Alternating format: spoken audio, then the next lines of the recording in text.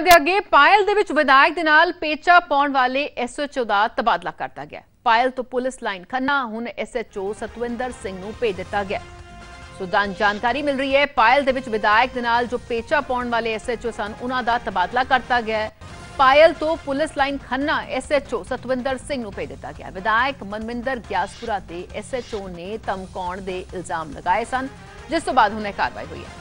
ਥਾਣਾ ਪਾਇਲ ਦੇ ਐਸਐਚਓ ਸਤਵਿੰਦਰ ਸਿੰਘ ਨੇ ਵਿਧਾਇਕ ਦੇ ਖਿਲਾਫ ਡੀਡੀਆਰ ਕਟਾਈ ਸੀ। ਮੰਦੀ ਸ਼ਬਦਾਵਲੀ ਬੋਲਣ ਤੇ ਕੰਮ 'ਚ ਵਿਗਨ ਪਾਉਣ ਦੇ ਇਲਜ਼ਾਮ ਲਗਾਏ ਸਨ।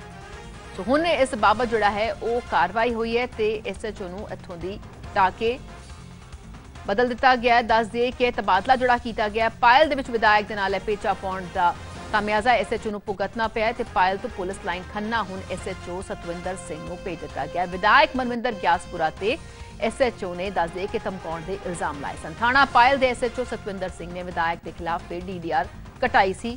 ਮੰਦੀ ਸ਼ਬਦਾਵਲੀ ਬੋਲਣ ਤੇ ਕੰਮ 'ਚ ਵਿਗਨ ਪਾਉਣ ਦੇ ਇਲਜ਼ਾਮ ਲਗਾਏ ਸਨ।